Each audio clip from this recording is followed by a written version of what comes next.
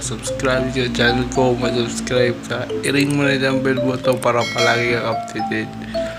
Today is good day. Wala tayong kasama guys dito sa bahay. Blanco na naman ang bahay natin guys. Napaka-blanco na naman ang home sweetie home.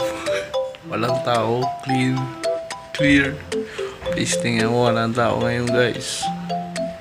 Hindi tayo makapag-ingay kasi tulog yung bata. Malitay na natin muna yung ating pananalita. Kasi may tulog na naman ang mga bata rito. Kaya be careful, be wishful. Ayos. Alam kung ano ang kahigdat na nito. Ay, sakit ang braso ko. Dahil ngayong araw, ang oras, time, alas 3 na ng hapon. Wala ka time yung pasting laro yan, no? Fuck you. Hindi ko alam kung naka-time yan, pero bahala na yan. Basta alas 3. Ngayong araw ay agenda natin ngayong araw. Wala. No. Walang agenda walang anuman. Dito lang tayo sa bahay yan. Sa bahay yan. Kita nyo, nag-vlog ako. Oh. Nag-vlog ako dito. Nag-video ako dito. Nag-vlog din ng gunggong. Gunggong ka. At yun nga guys. Kayong araw ay wala tayong ginagawa. Tayo home city home. Home sweetie home. Home sweetie home. Dito lang tayo guys. Maghahanap tayo ng mga pwede nating kalikutin dito. Dito tayo. Ano ba ang magandang gawin dito? ano yung magandang gawin dito, no? Buloy kaya natin itong mga plato. Tagin na ito ako. Mapagalit na ba ako rito? Ito wala guys. Ito tayong ginagawa talaga sa bahay.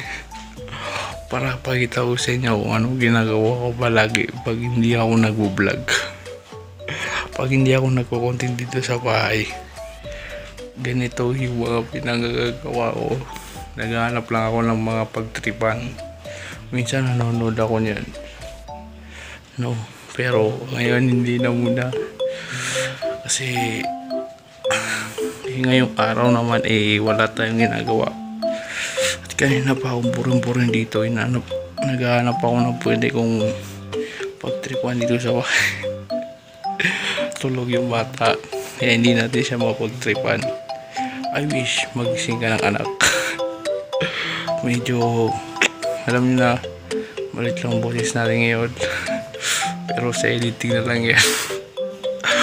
sa editing na lang natin yan kukunin kung paano natin makukuha. At uh, ngayong araw, ngayong hapon, yan na, liwanag dito. Ngayong hapon guys, ay ginagamit ko pa rin na cellphone ay yung binigay sa akin. At yung cellphone ko na sinabi ko noon sa last video natin ay andun sa loob mula pinapahinga ko lang. Ay di pala ayun naka-charge pala siya. At uh, spoil dahil ito na ito na simula ng tagumpay.